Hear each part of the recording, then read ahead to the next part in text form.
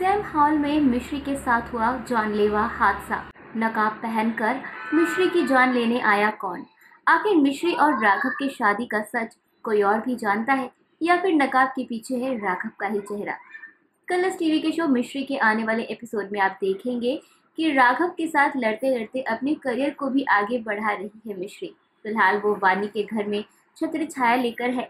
तो वहीं वो अपने एग्ज़ाम के लिए तैयारियाँ कर रही हैं। एग्ज़ाम हॉल में मिश्री अपना एग्ज़ाम देती है, बाकी सारे स्टूडेंट्स चले जाते हैं।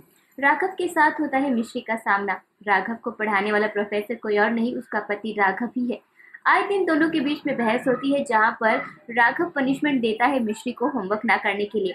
एग्ज़ाम देने के बाद एग्ज़ाम हॉल में एक नकाब पोश आदमी आता है, जिसके हाथ में बहुत बड़ा डंडा है। उस डंडे से वो करता है मिश्री के सर पर बार। साथ ही साथ उसके कपड़ों को और बाल को खींचकर वो उसे ज़मीन पर पटकने में भी कामयाब हो जाता है। आखिर कौन कर रहा है मिश्री के साथ ये सब कुछ और क्या है उसका मकसद? देखना इंटरेस्टिंग होगा। आने वाले एपिसोड को देखने के लिए आप कितने एक्साइटेड हैं? हमें अपनी राय कमेंट सेक्शन के ज़रिए ज़रूर बताएँ और चैनल को सब्सक्राइब करना ना भूलें।